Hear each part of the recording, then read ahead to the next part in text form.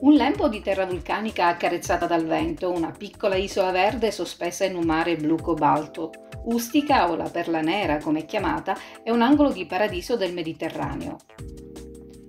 Con una superficie di poco più di 8 km quadrati, l'isola è una sorta di anfiteatro che guarda al mare, mentre il perimetro costiero è un alternarsi di suggestive grotte e insenature. I suoi fondali poi sono una vera e propria meraviglia, spettacolari per i colori e per la ricchezza della flora e della fauna marina.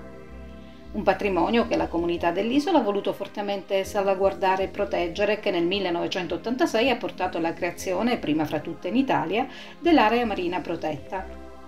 Ustica è che cosa? Il paradiso degli Alda subacquea, il paradiso del turismo lento. Oggi si parla di slow tourism. Cos'è il turismo lento? È un turismo lontano dai flussi eh, di massa del turismo mordi e fuggi. La particolarità di Ustica, proprio perché siamo a distanza di 36 miglia dalla costa siciliana, consente di filtrare, di scremare un certo tipo di turismo, un turismo più sostenibile, un turismo che cerca eh, tranquillità, che cerca lentezza. A Ustica si vive la lentezza sicurezza, si ritorna a essere eh, gestori del tempo, perché io ho il tempo di poter passeggiare, di poter salire verso le colline, di andare verso i sentieri facendo hiking, facendo dei percorsi in mountain bike o anche delle passeggiate eh, lungo la costa, senza avere il rischio di essere inseguito dagli orari di alberghi di massa o del, di un turismo un po' più eh, vacanziero eh, nell'accezione ovviamente eh, negativa.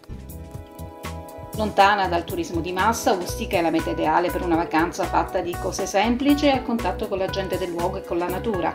Non solo mare dunque, ma anche relax e passeggiate lunghi sentieri per conoscere l'anima di questi luoghi in una dimensione di vacanza sostenibile e più intima che ti fa sentire di appartenere da sempre a quest'isola. Ustica offre tempo, Ustica offre tranquillità, Ustica offre sensazioni. A Ustica si vive, possiamo dire, il, il turismo esperienziale. Perché esperienziale? Perché il, il, il, viaggiatore, il turista, quando ritorna a casa dopo un soggiorno a Ustica, si riporta nella mente delle sensazioni, dei profumi, eh, dei gusti e quindi il ricordo non è un magnete made in China, ma è una sensazione.